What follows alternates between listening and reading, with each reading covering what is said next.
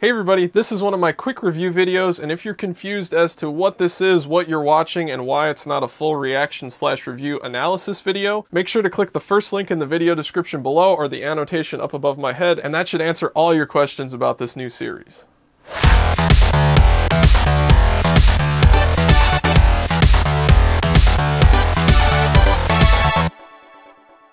Alright, let's talk about Sayonara Hitori by Taemin. It's a Japanese language release, so I can't do a full reaction slash review to it because it would inevitably get blocked. But of course I can still comment on it, so that's what I'm going to do in this video. I think this song is just an absolutely brilliant masterpiece. I hope that a Korean language version with music video will also get released through the normal channels so it won't be restricted so much like the Japanese releases always are, because I think this is just an amazing song that will really elevate his career, especially in Korea, if everyone can hear it and enjoy it. This song is just a dynamics roller coaster. You know, they start very withdrawn, kind of introspective, and it just builds to this massive, epic electronic instrumental interlude. And then having the song in four, and then right at that point going into that sort of slow 6 8 triplet time, it's just incredible, epic stuff. You know, and then they reel it back in again for the second verse, but they change things up and give it a lot of excitement, a lot of interest, and then it builds into that even even more epic second chorus where they don't go into the 6-8 time.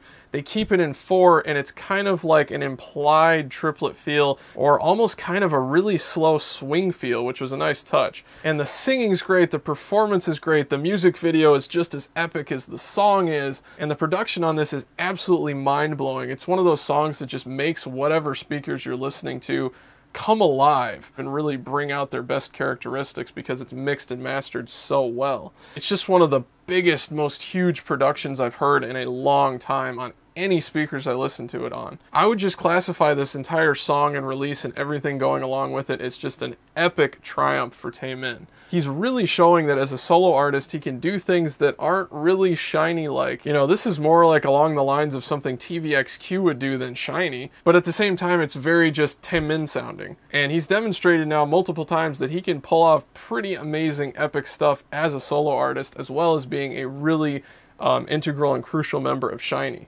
So again, hopefully the song won't get buried like a lot of the Japanese language releases do. And whether it's this version or a Korean language version or even an English version, I just think that this song and him performing it is an amazing accomplishment for his career.